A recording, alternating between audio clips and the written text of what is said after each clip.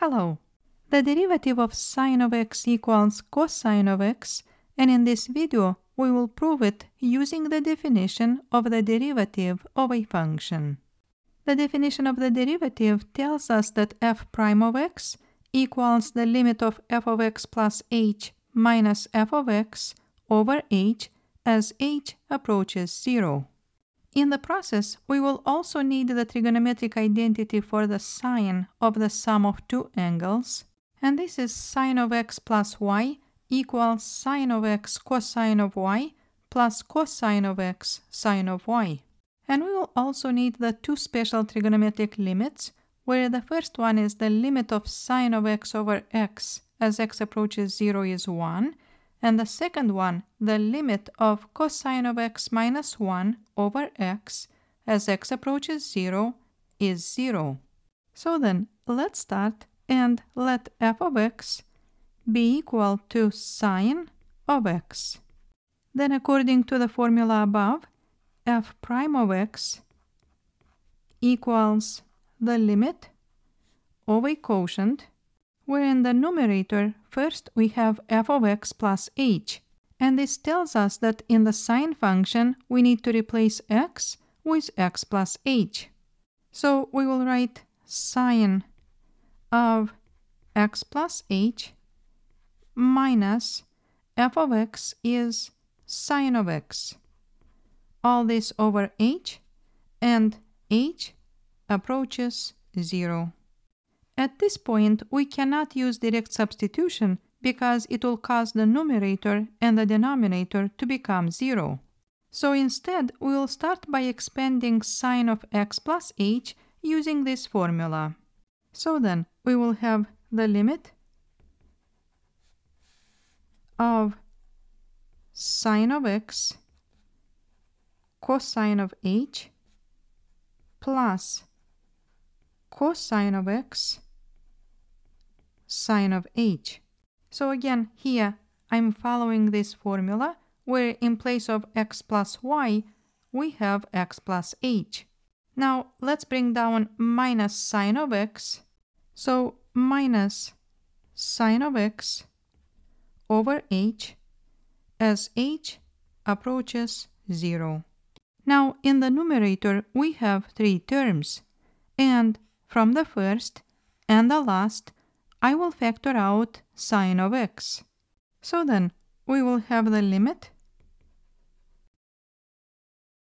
And when I factor out sine of x, in parentheses I will have cosine of h minus 1. So as you see, sine of x times cosine of h equals sine of x cosine of h, and sine of x times negative 1 is negative sine of x. And now I will bring down cosine of x sine of h. So we will have plus cosine of x sine of h over h as h approaches 0. Now in the next step I will split this fraction into two fractions. So I will write the limit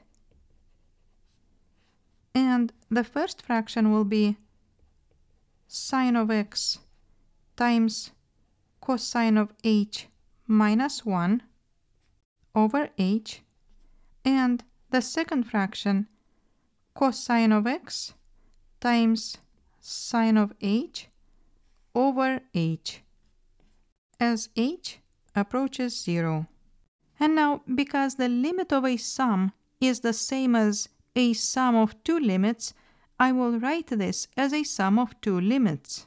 So then, we will have the limit of the first fraction sine of x times cosine of h minus 1 over h as h approaches 0 plus the limit of cosine of x times sine of h over h as h approaches 0. Now, in each of these limits, the variable we are working with is h. In the first expression, we have sine of x that does not contain h.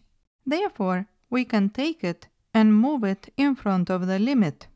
And we will do the same with cosine of x in the second limit. So now we will have sine of x times the limit of cosine of h minus 1 over h as h approaches 0 plus cosine of x times the limit of sine of h over h as h approaches 0. And now let's take a look at these two limits. The first one is the special trigonometric limit whose value is 0, and the second one is the special trigonometric limit whose value is 1. And what we have now is sine of x times 0 plus cosine of x times 1. All this equals cosine of x. So we just proved that the derivative of sine of x is cosine of x. Thank you for watching.